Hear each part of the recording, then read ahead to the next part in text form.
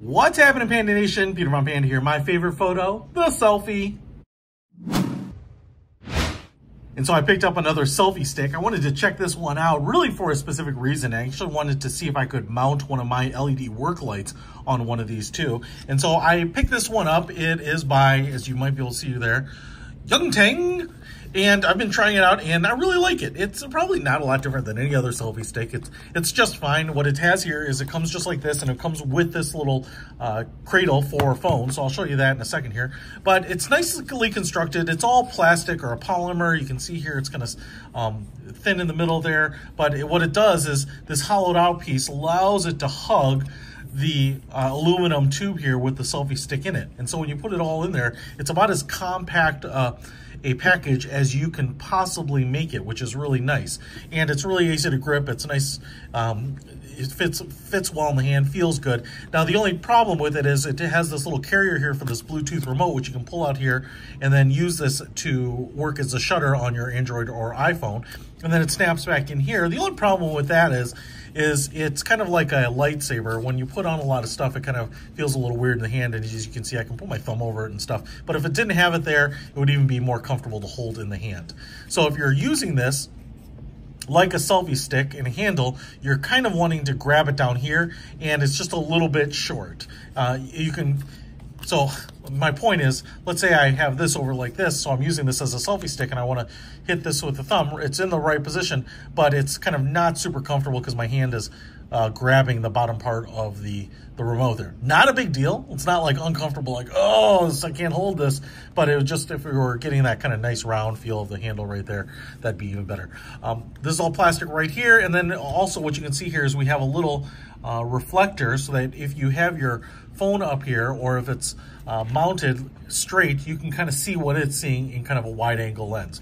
Now you can see here there's a little ball joint and if I uh, loosen up the screw right here, that allows this to move around. So I can put it in the position I want and then tighten it down and now the sucker won't move. On top of that, we have a quarter inch screw here so you can mount your phone or any type of carrier, including the one it comes with, and then you have this little disc for tightening it down.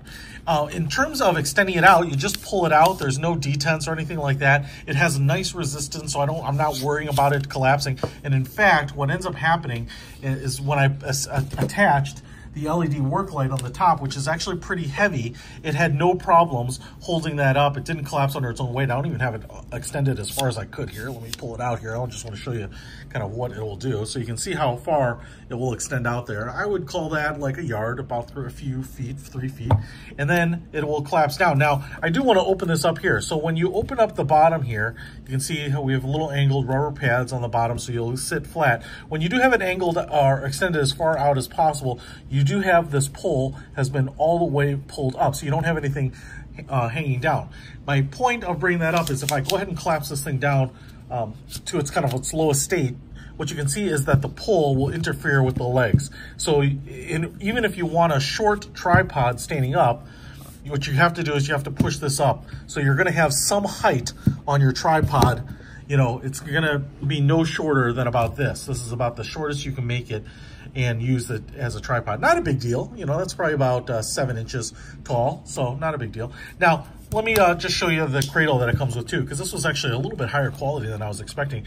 Uh, you can see here with this the screw hole receiver, the female port, there I can open it up just like this so it, it's nice that it collapses flat it's easy to travel with we have a couple of hooks here some uh, edge here so that and then rubber pads on the bottom so that when you put your phone in there you don't have to worry about it sliding out and then we have a thumb screw right here which will allow you to uh, open it up put your phone in and tighten it down. Now, the nice thing about this is that it's gonna hold on to things really well. And so, especially in a selfie stick when you're moving around, maybe holding it over something that you don't wanna drop it into, you can tighten this sucker down. You don't have to worry about your phone falling out as opposed to just a spring-loaded design where, you know, something might bump it or maybe you've, you've got it off center and there's too much weight and it kind of uh, pries itself out. So this is kind of nice that you have this screw down uh, cap right here. And if I show you, that'll allow you to screw it on here just like this. Uh, am I lining that up right? There we go. Now, ah, still not lined up right. All right, there we go. And screw down, and then I can tighten it up like this. And now they won't go anywhere. So you can kind of get it in the position you want. You can angle it as well as kind of turn this into the position you want and then lock it down with that screw right there. So I think overall, a really nice little selfie stick package. It's got a lot going for it. Um, I was using it to hold my LED work light and it had no problems doing that. So it's gonna be a really useful tool as we shoot videos here. But just wanted to show it to you if you wanna pick one up. I'll put a link to it in the description below. Peter Von Panda, out.